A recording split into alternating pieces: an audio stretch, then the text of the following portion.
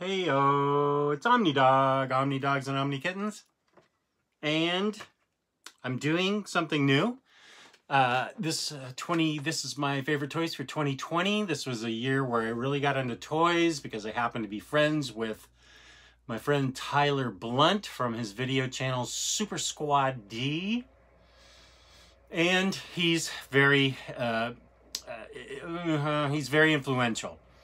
Uh, that is to say, I'm an easy pushover. He suggests toys and I buy them. Uh, so I thought I'd go over all my toys that I thought were the most interesting and fun, that I enjoyed the most this year. And um, toy collecting is kind of a new hobby of mine, but um, it, I, I don't know, it keeps me busy and keeps me off the street from buying drugs. And that's, you know, even though that's how I met my wife. So that's really a good thing. So, um, we'll start with, let's start with a statue. I, I only bought one statue, I think, last year, which is pretty good for me. I'm usually statue crazy.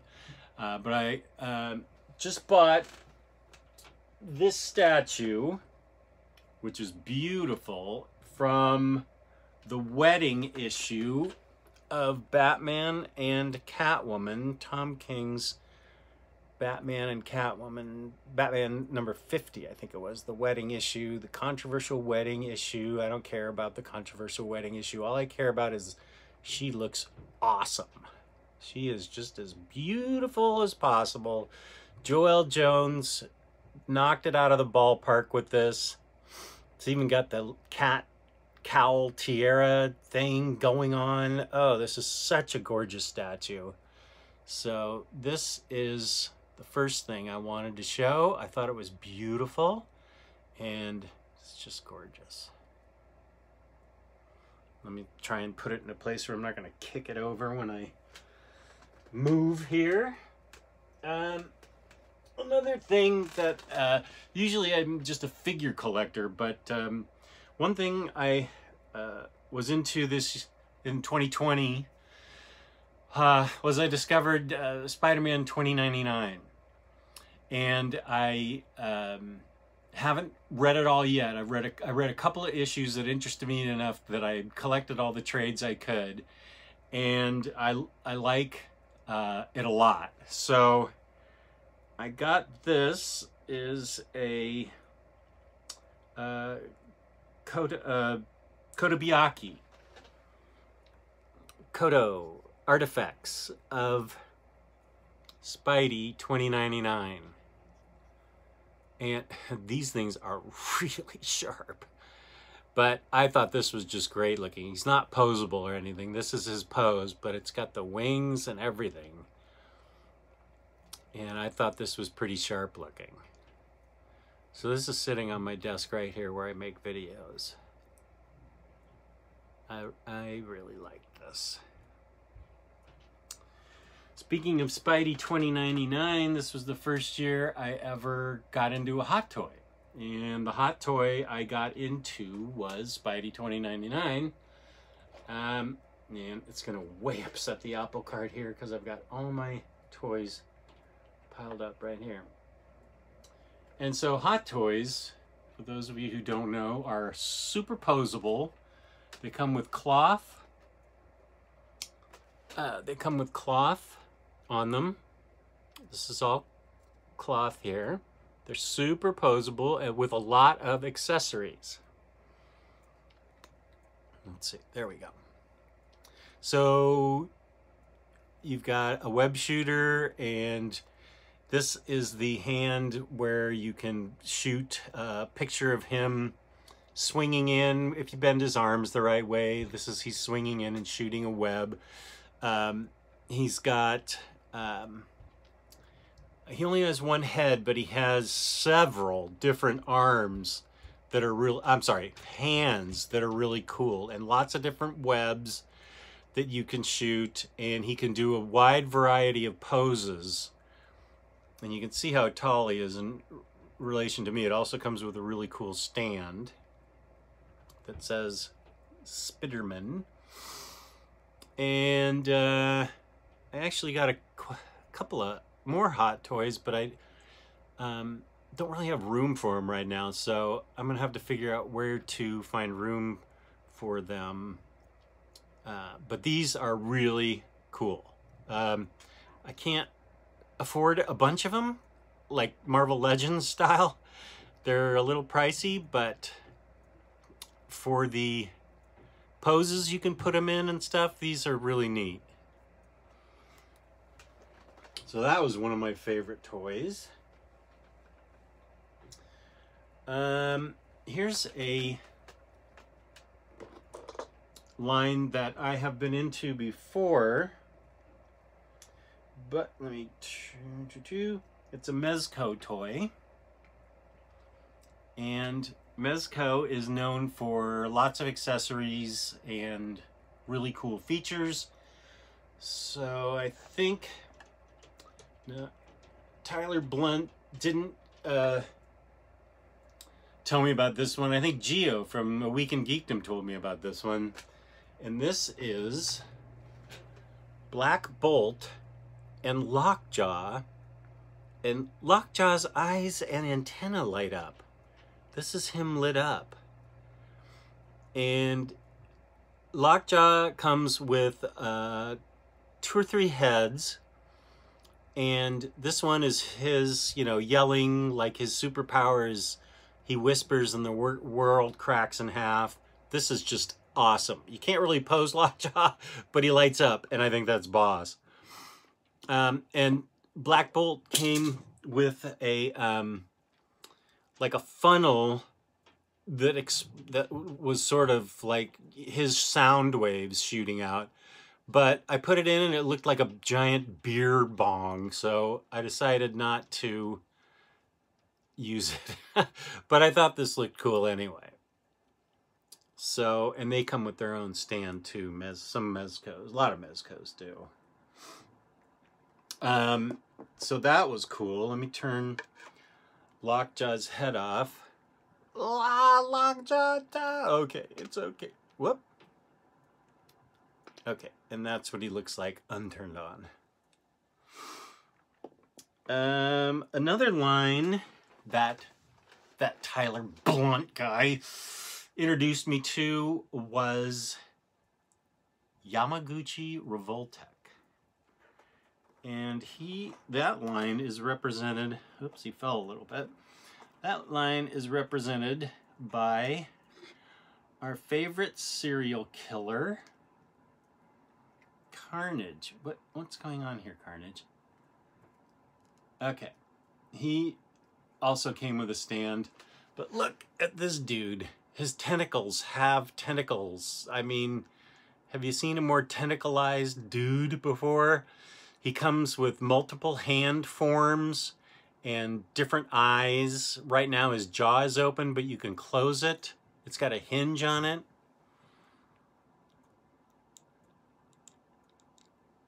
Uh, it's got a hinge on it, yeah. And uh, so you can you can change his eyes and just uh, all these tentacles are so cool. Um, he also has one of the features I love, and that is the posable toe here. Um, I, that's really important to me for um, posing. If you have the little bendy foot, it's so much fun to pose those guys. I've got him in midair because I have him in a diorama out out in the um, main part of the Bat Cave with Cable, who's also a Revoltech uh, that Tyler talked me into. Uh, and just look at all that. So he comes with multiple things, and this is just really boss. So those were my first, that's my first Revoltech figure. Um, and I also got, for the first time, SH Figure Figuarts, Figuarts figures. Uh, I got one of Harley Quinn. She's really cool. These come with um, multiple hands and uh, multiple head pieces. This is uh, my crush, of course, Scarlet Witch. She does not have toe bend, but she does have You can take her hair off and put different hairstyles on. She has a couple different faces, I think. Uh, different hands with different weaponry.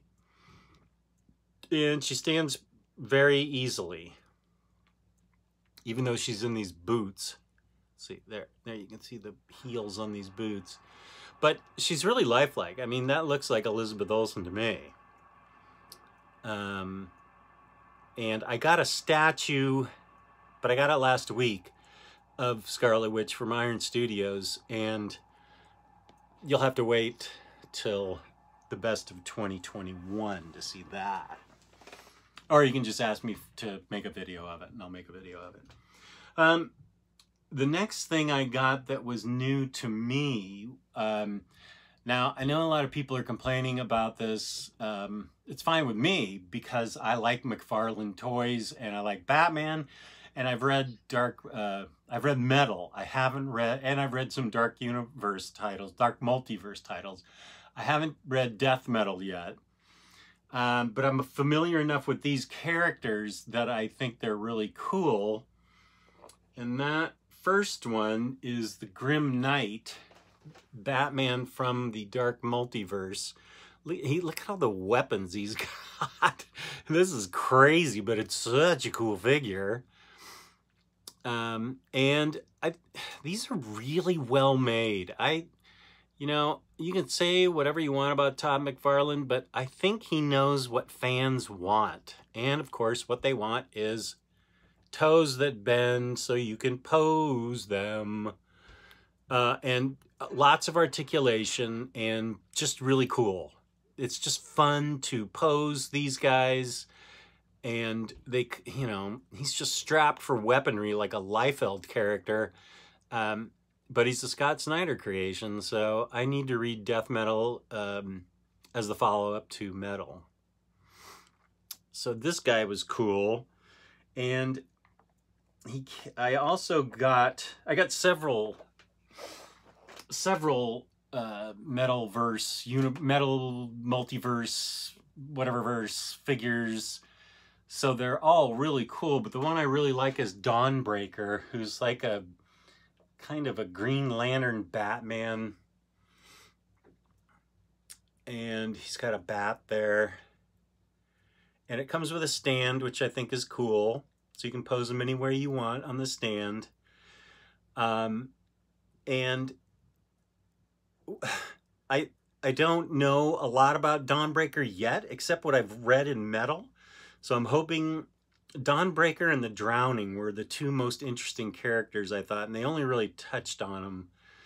Um, but I I think um, McFarlane really does a good job. Now I know you're pro all probably sick of Batman because that's all he's done, and a, and a couple of Supermen.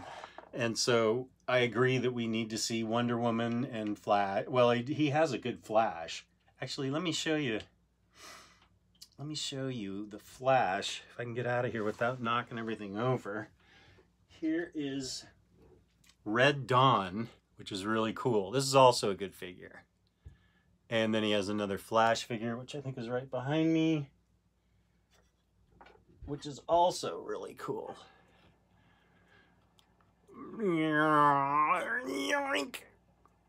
So, I mean, look at that pose. He's all twisted up and everything.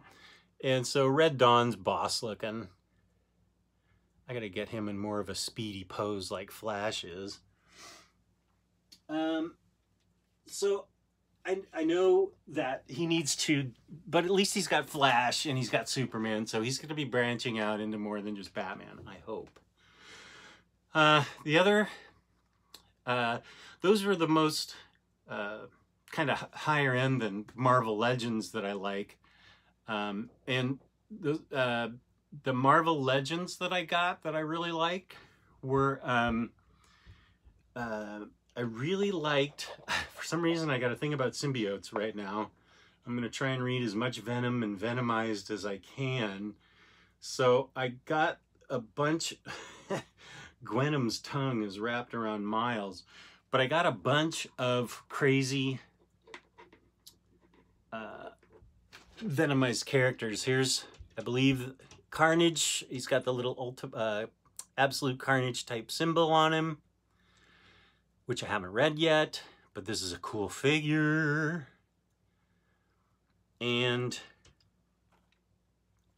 also, um, I got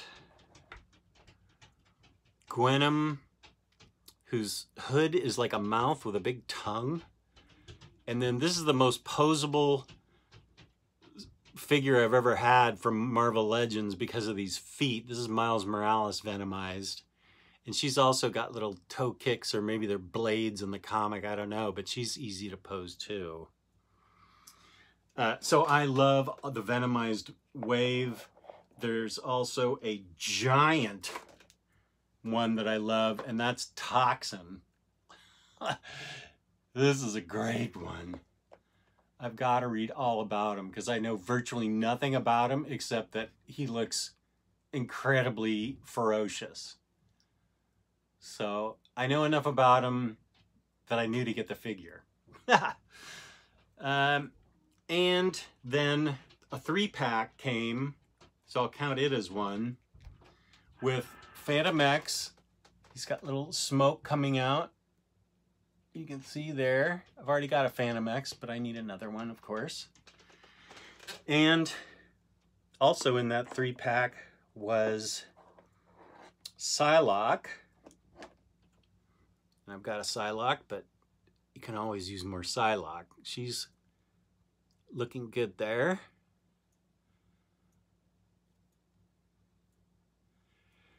And Nimrod, who is monstrous. So those were my favorite toys of 2020. Uh, let's see. Well, I had another one, but I don't see him, and I think the video's over. So, uh, thanks for tuning in. Thank you for watching. Peace and love, peace and love. Please like, subscribe, and comment. And go to that Tyler Blount's Super Squad D uh, YouTube channel. And um, I will be seeing you soon with another video. Peace and love, peace and love.